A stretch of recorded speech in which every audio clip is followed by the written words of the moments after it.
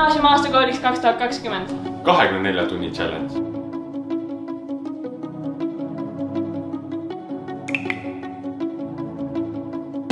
hommikul teeme hommikuvõimlemist, peale hommikuvõimlemist saame putru süüa.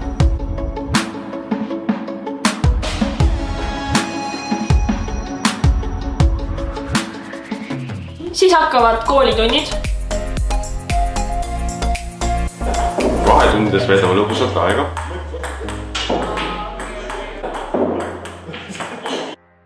Keemias teeme erinevaid katseid,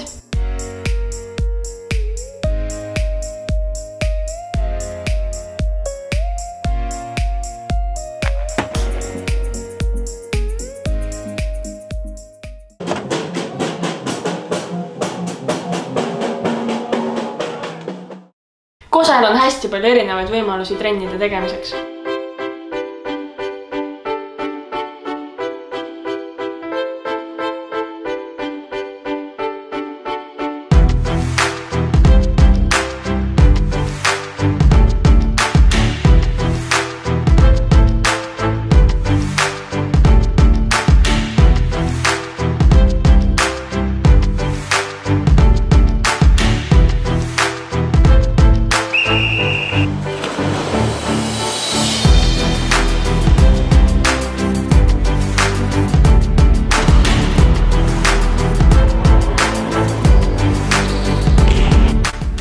trenne saame uuesti kambaga kokku, õpime ja inestame.